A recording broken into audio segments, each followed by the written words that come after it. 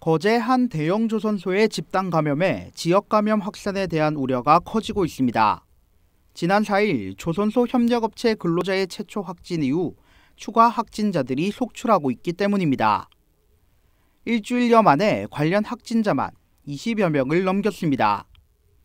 조선소 관련 N차 감염까지 발생하면서 거제시는 방역을 강화하고 진단 검사를 확대하기로 했습니다.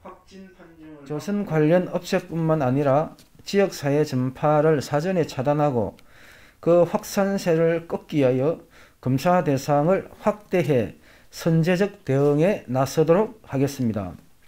조선소 집단 감염을 비롯해 진주 이통장 연수, 창원 음악학원 등 소규모 집단 감염이 늘고 있습니다.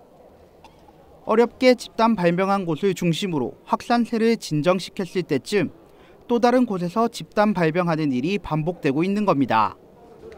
특히 12월 들어서는 감염 경로가 확인되지 않은 깜깜이 확진자도 2배 이상 증가했습니다. 경남도는 코로나 증상을 조금이라도 느낄 경우 신속하게 검사를 받아줄 것을 당부했습니다.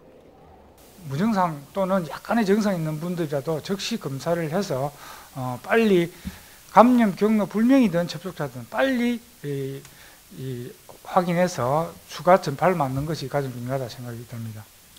지난 11월부터 11일 현재까지 발생한 확진자는 494명, 전체 누적 확진자는 809명을 기록하고 있습니다. 경남도는 이번 주말이 감염 확산의 중대한 고비로 보고 모임과 행사를 연기하거나 취소하고 집에 머무를 것을 강력히 요청했습니다. 헬로티비 뉴스 표영민입니다.